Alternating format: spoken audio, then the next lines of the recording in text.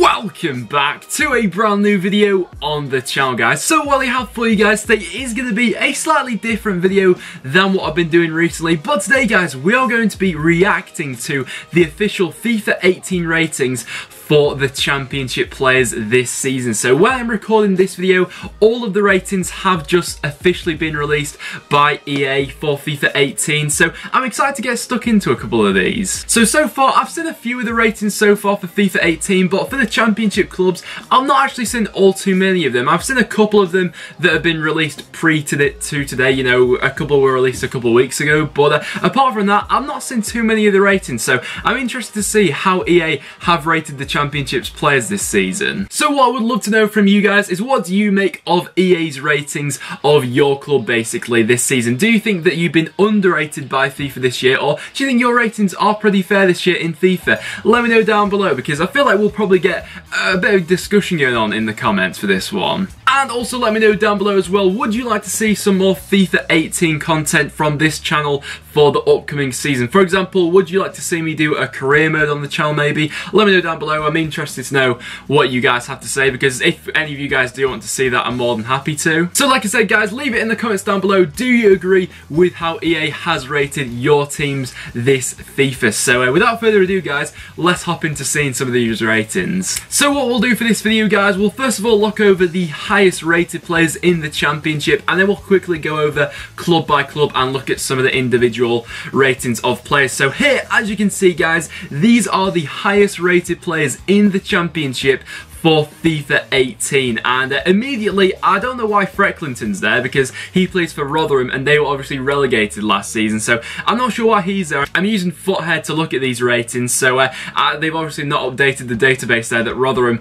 are no longer in the championship but as we can see there, there are the highest rated players in the championship for FIFA 18 and the first thing that stands out on this is me is that Cheikhun from Birmingham is the highest rated player in the championship. Now, don't get me wrong, he's a decent player, but the highest rated player in the championship? Really? I'm just not sure about that to be honest. But uh, we also have John Terry as well, 78 rated, had a bit of a downgrade from last year, but with that 34 pace, that's gonna I don't think he's going to be great to use this year, but uh, obviously as well we have quite a few Wolves players in the highest rated players this season for FIFA. Jota from Wolves there being 77 rated. I mean, from his start to this season, he could even be higher rated than that. And uh, Tom Cairney as well, 77 rated.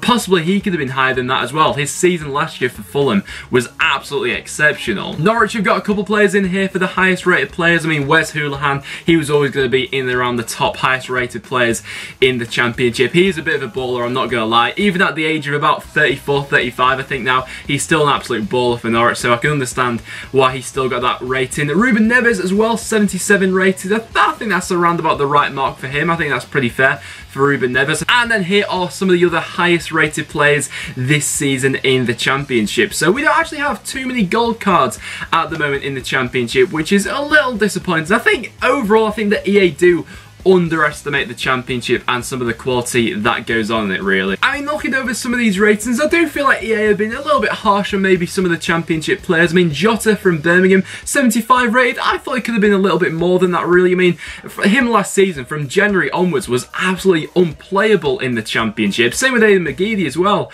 being 75 rated and Saiz from Leeds United as well. You know the start he's had to his Leeds career he could possibly maybe a little bit higher than that as well. So let me know down below as to what you guys think of these highest rated players in the championship. Do you agree with him or not? Let me know down below. But uh, now guys, we will go over looking at some of the individual clubs in the championship. So we'll just quickly run through all the ratings for this year's FIFA 18 for the championship. So first of all, we do have Aston Villa, as we can see on screen there. And yeah, you know, they're giving them four gold cards this year, but uh, a couple of ratings gone off. You know, Ross McCormack, of course, he was inevitable to get a downgrade from last season. I think he was a gold card last season on FIFA, but him being 73, I mean, that was pretty inevitable, you know, with him not turning up to training because he didn't have his gates working last season and he only scored a couple of goals.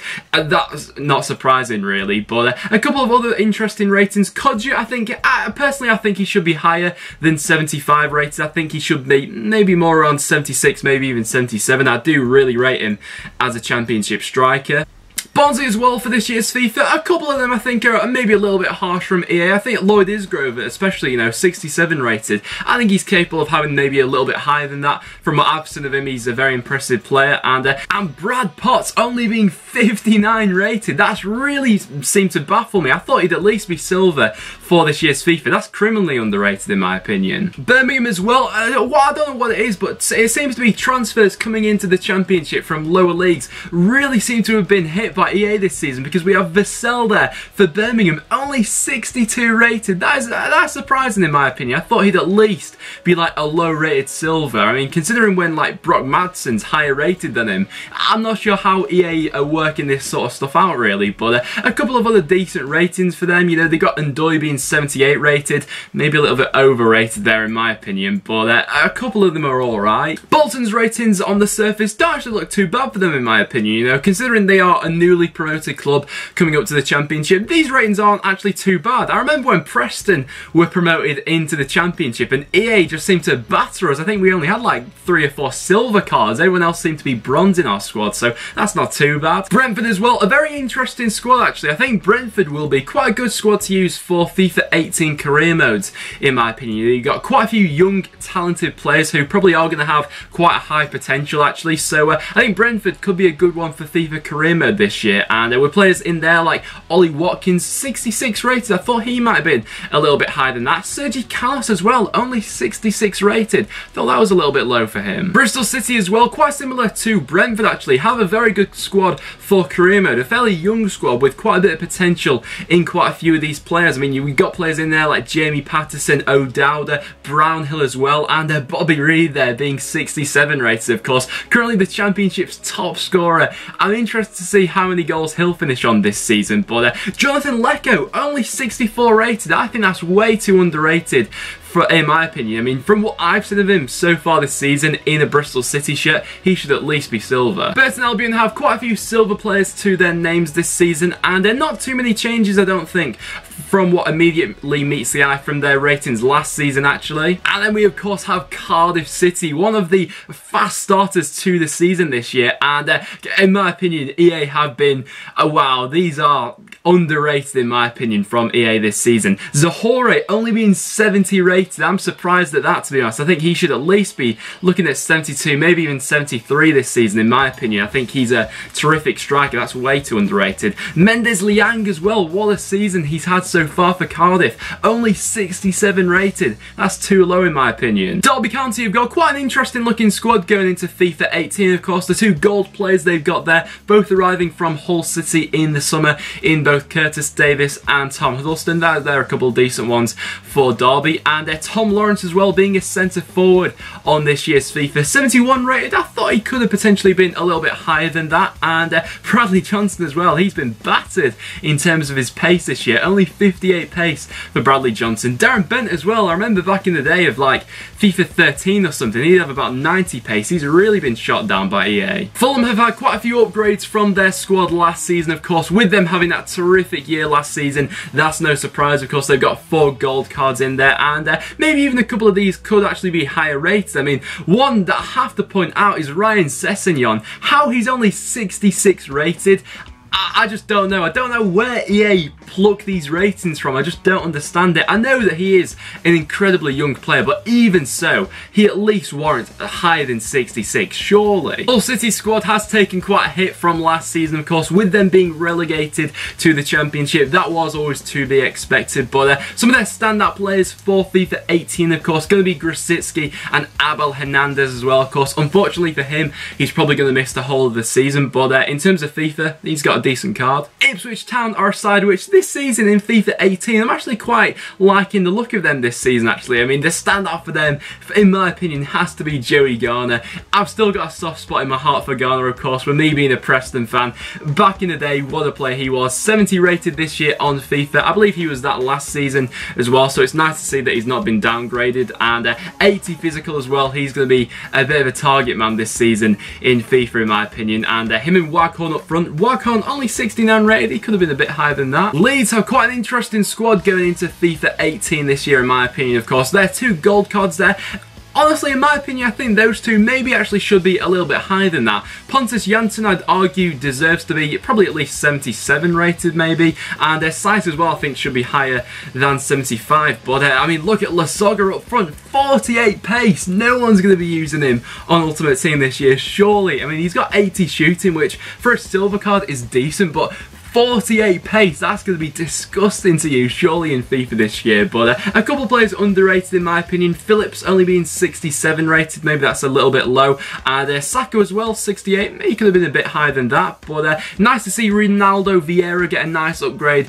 going into this year's FIFA. He looks like a good card this year. Middlesbrough have quite a weird selection of players going into this year's FIFA. The one that really stands out to me out of this list is Britt Assombalonga, only being 72 rated. That really does baffle me in my opinion, considering some of the gold players we've got in the championship. I think Assombalonga is on that level really. I think at least he should be 74, 75 in that sort of region, but to be 72 is way too underrated for Assombalonga in my opinion. I think he's got games to goal ratio, I think he's got one of the best in the championship of course. His injury record over the past couple seasons hasn't been great, but 72 is way too low for a Assombalonga. Millwall have got an interesting bunch of cards going into this year's FIFA 18 with Lee Gregory being the pick of them, of course, being 68 rated. Got quite a few 68 rated players in here actually, Millwall, but uh, overall it is a solid squad going into FIFA. Norwich City are the next squad to go ahead and take a look at, and uh, Norwich have got a couple interesting ratings going on in here, of course. The start to the season for Norwich has been a really fluctuating one for them so far this season, but here are their cards going into FIFA FIFA 18 and of course we've already discussed Wes Hoolahan and uh, Nelson Oliveira in there as well 74 rated Alex Pritchard as well he'll be a decent player in this year's FIFA I think. Nottingham Forest are the next squad to go ahead and have a little bit of a look at. Forest fans let me know down below do you think you've been dealt harshly this year by EA in terms of your ratings? I think a couple people are a little bit underrated here but it's nice to see Ben Brereton of course being in this year's FIFA. I don't think he was in Ultimate Team last year. I think he was in FIFA but not in Ultimate Ultimate Team. He's going to head and got a 66 rated card, 86 pace. He looks like he's going to have a really high ceiling in terms of career mode this year. So Forest could be another good one to use for FIFA in career mode this year. And then we do get to my club, Preston North End. So we'll have a bit of a chat about what I think of this year's Preston ratings. Do I think we've been underrated by EA? On the whole, yeah, I do. I think we've been dealt pretty harshly with a couple of these ratings. First of all, Seanie Maguire, he's rated rated 65. Yeah, what are you thinking? Ben Pringle is rated higher than Sean Maguire on this year's FIFA. That is baffling to me. So is Marnick Vermijl. Don't get me wrong, I still rate these players, but for Ben Pringle, Marnick Vermijl, Andy Boyle, I suppose, to be higher rated, and Tommy Spurr to be higher rated than Sean Maguire is uh, baffling. Darnell Fisher as well, he's 62. For God's sake, yeah, he was nominated for the Championship Player of the Month the other week, and I know that EA do base these ratings off last season, but even so, I feel like they should be a little bit more educated. We do have a couple decent ratings in here though. Ben Pearson being a 73, that's more than deserved in my opinion. He is just, oh, absolute warrior in the middle of the park And uh, same with Greg Cunningham as well, also being a 73. I do feel like maybe a couple players are a bit overrated. For example, Paul Gallagher being 71. I think that's maybe a little bit kind on Gallagher. John Welsh being a 68. He doesn't really tend to play too much these days. But uh, a couple of the other ones, Tom Barkhuizen, he's got 93 pace. In my opinion, he should have 99. This is QPR squad going into this year's FIFA 18 and a couple of solid cards in there for this year's FIFA. But once again, a couple ratings that EA just seem to be hammering down that I think are a little bit harsh. Luke Freeman, I think, is a terrific player. He at least deserves a 70 rated card, in my opinion. Josh Scowen as well, last season for Barnsley, he was terrific, but EA have only given him a 67. These are Reading's ratings going into this year's FIFA 18, and uh, once again, a couple ones which are a little bit low rated, in my opinion. Swift could easily be higher than 72, in my opinion, but uh, with some of their new additions in here, Aluko being a 74 rated. Him on the wing with that 88 pace. He's going to be deadly for Reading this season on FIFA 18. And then we do have the first Sheffield club to go ahead and talk over. That, of course, being Sheffield United. And uh, in my opinion, once again, EA have been way too harsh with these ratings. I mean, the top two we, are, of course, had to talk about are Billy Sharp and Fleck from United. And uh, in my opinion, both of these are a little bit underrated. Sheffield United fans, what do you think they should be rated? I mean, Fleck especially, how? He's only 69 rated. After the season he had last season in League One for Sheffield United, that completely baffles me. Sheffield Wednesday have got a bit of an interesting side going into this year's FIFA. A lot of silver players, a couple which being a little bit underrated in my opinion. I mean, Forestieri I think's been downgraded from last season, if I'm not mistaken, being 73 rated. Sheffield Wednesday fans, do you feel like that was warranted? I know there's a bit of a, a split reaction over what Wednesday fans have to say about Forestieri, so that's an interesting one to call. Gary Hooper as well being 73 rated. Then into our second to last score we do go, we then have Sunderland to go ahead and talk over, and uh, Sunderland have got a couple interesting players to go ahead and pick out. I mean, Aiden McGeady, he's still got something in my heart for me. After that last season he had for Preston, he's still a special player, of course. Still got those five-star skill moves, so he'll still be a bit of a baller in this year's FIFA. But uh, Jack Rodwell being 74 rated, is it just me, or is that way too high. Sunderland fans, what's your opinion of Jack Rodwell? I'm genuinely interested to know about this because uh, for me, he just He's a, he's a funny player. I'm not sure 74's right. And then our last squad to go ahead and look over is, of course, going to be Wolves. And uh, Wolves this season, in my opinion, probably have one of the best squads to go ahead and do a career mode with them this year because uh, some of their players this season are absolutely ridiculous. I mean, uh, Jota especially, 77 rated. He could be a little bit higher than that, in my opinion, you know, with the start he's had to the season. He's been absolutely ridiculous. And uh, Helder Costa as well, playing on the other wing with that 92 pace, 79 dribbling.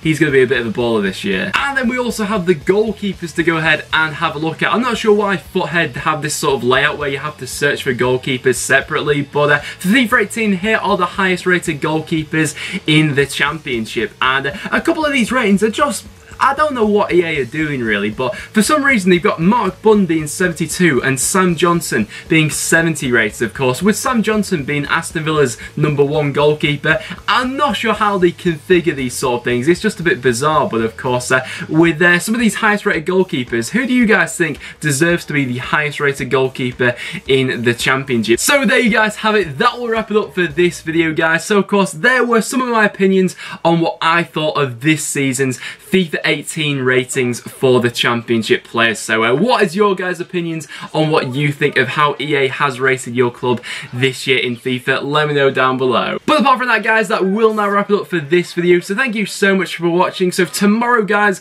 will be when my championship score prediction video does come out and you're not going to want to miss that video because we have some massive games coming up this weekend. But uh, apart from that guys, thank you so much for watching. So if you have enjoyed, make sure you do leave a like. It is always massively appreciated. As well as that, make sure you subscribe for regular championship content. But apart from that guys, thank you so much for watching and I'll see you all in the next one.